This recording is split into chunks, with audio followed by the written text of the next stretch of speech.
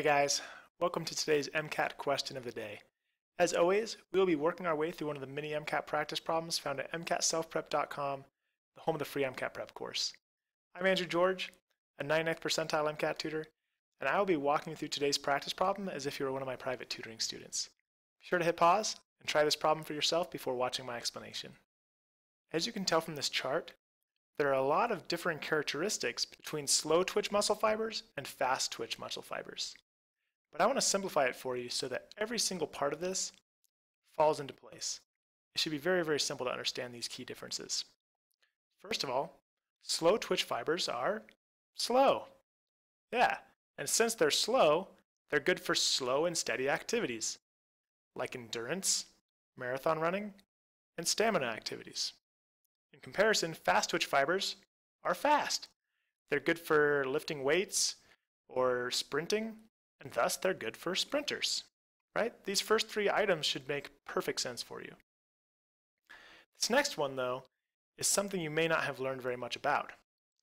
Why would it make sense that slow twitch fibers primarily rely on aerobic respiration, whereas fast twitch fibers primarily rely on anaerobic respiration?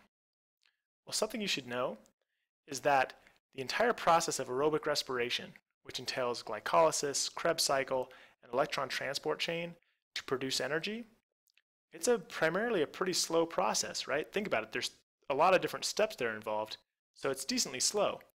But it produces a lot of energy. It produces about 38 ATP. In comparison, anaerobic respiration using just glycolysis is very fast because there's a lot less steps to go through, but it only produces 2 ATP.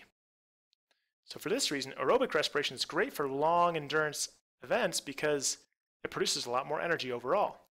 Whereas for sprinters, they want their energy quick, and so they'd prefer to rely on just glycolysis. Even though it only gives them 2 ATP per pop, it's very, very fast. They get energy a lot quicker. So this, this should hopefully make sense for you as well. And because slow twitch fibers primarily rely on aerobic respiration, they're going to need a lot more oxygen. For this reason, they're going to need more blood vessels to carry oxygen to them. And in a similar fashion, fast twitch fibers don't need as many blood vessels, so you might as well get them out of the muscle to make way for more muscle fibers. And as we already talked about, for slow twitch fibers, the energy release will be great, but it will be very slow, whereas fast twitch fibers, they release a very little amount of energy, but it does happen very quickly. And moving right along, more mitochondria in slow twitch fibers. Why would that be the case? Well, we need to do more electron transport chain, right? Therefore, we're going to want more mitochondria around. And might as well get those mitochondria out of the muscle if we're going to focus primarily on anaerobic respiration in the fast twitch fibers. And finally, myoglobin. It's the protein that carries oxygen throughout the muscle.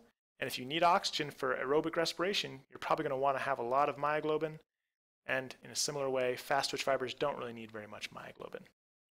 And one more thing you should know is that fast twitch fibers are white and slow twitch fibers are red. And this should also make perfect sense. Think about the blood. It's red. Therefore, if you have more blood vessels in your muscles, your muscles are going to appear to be red. That's why slow twitch fibers are going to look more red, whereas fast twitch fibers, which don't have very many blood vessels, will look white. After digesting that table, I think you should have no trouble answering this question. Are type 1 muscle fibers red in color? Yes, because they have a lot of blood vessels, right? Are they slower? Yes, and they mainly rely on aerobic respiration. Therefore, the answer here is answer choice D. If you enjoyed this MCAT question of the day, be sure to give it a like. And for more questions of the day, be sure to subscribe to this YouTube channel and enroll in our free MCAT prep course found at MCATselfprep.com. And if you are really looking to maximize your MCAT score, feel free to visit my tutoring profile page and request a free 10-minute phone consultation. I would love to chat with you about your situation and how you can maximize your MCAT score. I look forward to hearing from you soon. We'll see you next time.